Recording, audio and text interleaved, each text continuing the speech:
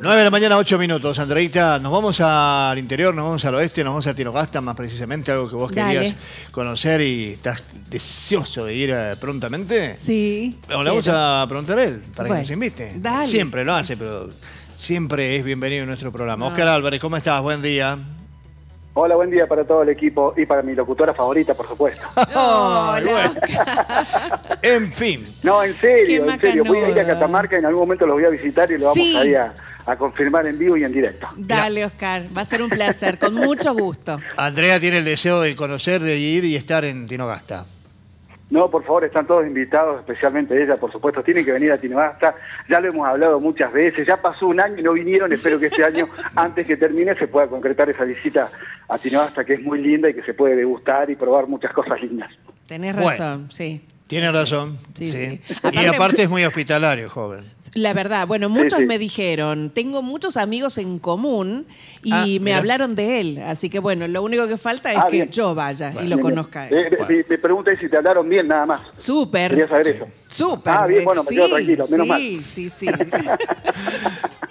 Vamos a la información, Bueno, no me, por no, favor, mira, estoy en este momento en lo que es eh, cerca de lo que es el despacho del intendente municipal, porque en breve vamos a tener una entrevista con él, en exclusiva, para obviamente para Radio Provincia, para, para Canal 7 de la TV Pública de Catamarca.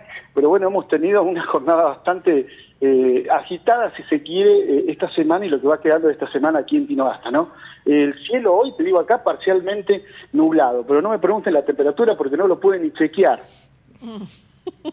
Pero está lindo, agradable, se puede respirar. No, no, está bastante lindo, bastante agradable, está por ahí el sol aparece, desaparece, pero una temperatura bastante agradable, por, por lo menos para andar pedido de mangas cortas, por ejemplo. Eso es bueno, está lindo, listo.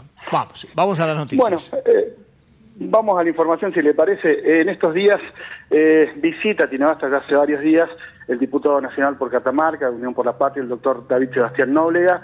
Eh, tuvo alguna serie de actividades acompañando aquí al intendente de, de Ernesto Andrada.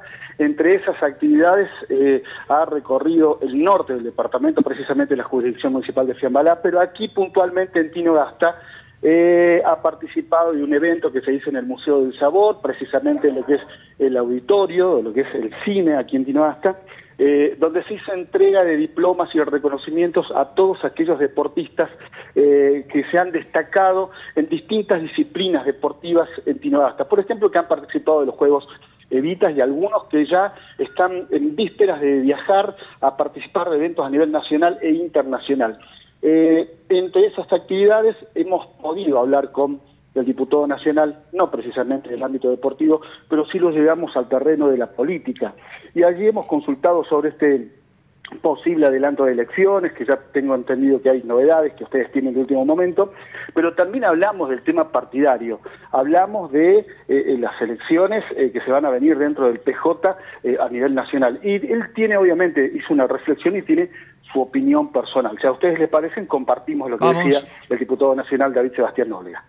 Bueno, creo que es un análisis que lo debe hacer este, eh, las autoridades, digamos, este, vi lo mismo que usted a través de la prensa, hay que ver este, la situación habilitada por la Constitución Nacional, la Constitución Provincial, recordemos que la Constitución Provincial habilita o a convocar en marzo o junto con las elecciones legislativas eh, nacionales. Eh, en nivel nacional se autorizó ya y se aprobó el proyecto de ley de la boleta única, en provincia todavía no. Eh, hay un rumor, todavía no hay nada concreto a nivel nacional de la suspensión de las elecciones paso, todavía no hay nada concreto respecto a esto, pero sí respecto a las autoridades nacionales que ya se trabaja con lo que va a ser la boleta única para las elecciones del año que viene. La provincia todavía no ha adherido, será una cuestión que se tendrá que tratar en las cámaras de, de la provincia, que definirá si adhiere o no a esta nueva ley de, boleta única y se definirá también, el Ejecutivo tendrá que definir la convocatoria a las elecciones. Diputado, se viene una elección importante en lo que se refiere en materia netamente partidaria, elegir quién va a presidir a nivel nacional el Partido Justicialista. ¿Ha hecho alguna reflexión? Este, digo, mira un poco hacia el futuro, qué puede suceder. ¿Qué opinión tiene usted? Mire, creo que lo principal es la unidad, este, creo que somos partidarios del diálogo, creo que eh, tenemos que aspirar a que se logre la unidad en el Partido Justicialista a nivel nacional, este, creo que hay que darse toda la tarea y el trabajo para que se logre la unidad. Todavía hay tiempo, quedan unos tiempos más hasta la presentación de lista, ojalá que, que se logre la unidad. La palabra del diputado nacional. Sí, bueno, ahí estaba, la palabra de Noble en lo que se refiere a esta elección este, que en un momento se hablaba, si la provincia iba a ir por separado o no. Creo que ustedes están manejando información de último momento, A ver. porque el gobernador ha estado brindando alguna información pública. Tengo entendido que ustedes están manejando información de último momento El gobernador- sobre este tema, ¿no? A ver, Oscar, el gobernador justamente el móvil hace minutos lo acaba de reflejar en el discurso que ayer dio en el ámbito de lo que fue el aniversario del Día de la Lealtad, confirmó que van a ser en forma conjunta con Nación. No se va a desdoblar, por los costos sobre todo, ¿no?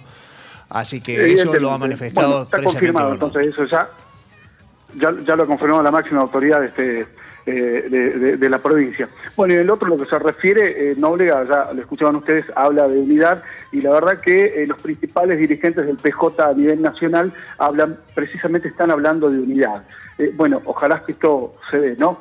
Por un lado. Bueno, y por otro lado, ya para cerrar lo que es esta intervención, digo, de noticias, eh, Tinogasta ha tenido una semana bastante agitada en materia judicial, ya lo hemos anticipado con ustedes, porque finalmente un jurado en Tinogasta, 12 personas eh, pudieron dar un veredicto, o dos veredictos si se quiere, sobre los dos implicados en el asesinato de Luis Ramos.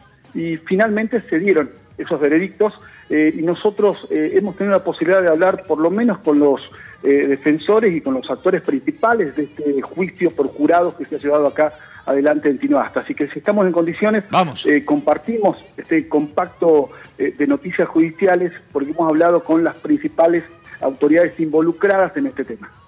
Ha salido el juicio con un veredicto tal como lo ha solicitado el Ministerio Público Fiscal, con una condena por homicidio crímenes causa para Córdoba y de encubrimiento para Robledo.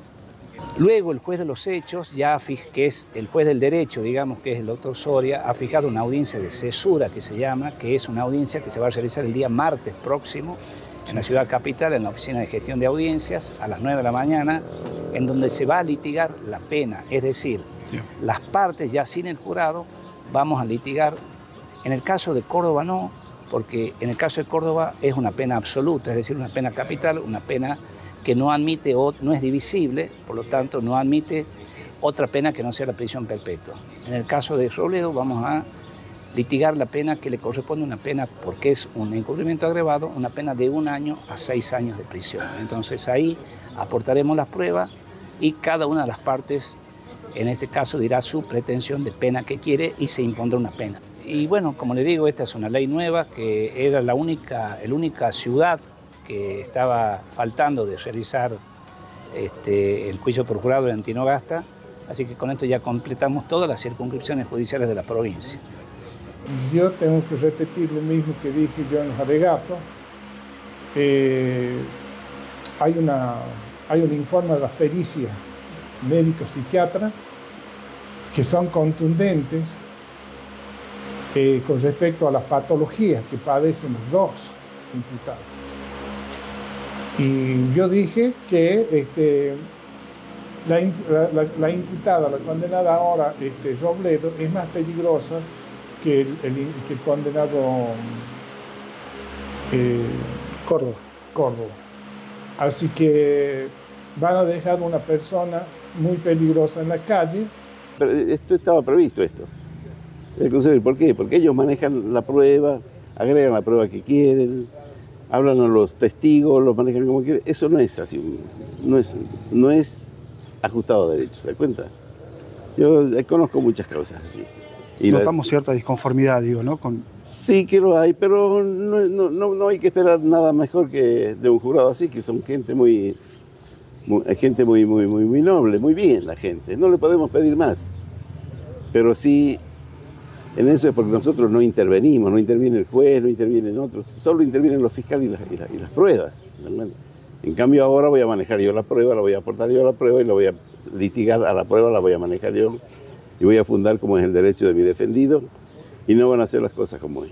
¿Usted cree que puede haber un cambio? Digo, lo Es que tengo, tengo que cambiarlo, tengo que cambiarlo. Porque el, el- el- el origen La dirección de la causa se origina por la acción del oxiso, no por la acción de mi defendido. Ahí, ese es el origen. Y ellos lo confunden a la sociedad, confunden el derecho, confunden, a, la, justicia, diciendo que es un hecho de robo. No, es una amenaza de muerte la otra, y hay una muerte también, una reacción que provoca una muerte, y de ahí las cosas, se sacaron las cosas, pero no es con el fin del robo. Las, cosas se han devuelto, así que no hay robo. Bien, Oscar. Bien, bueno, ahí estaba escuchábamos a dos de los, eh, de los abogados eh, que trabajan en la defensa, este, y, bueno, como ustedes habrán escuchado, no están conformes con lo que ha sido eh, el resultado de estos veredictos.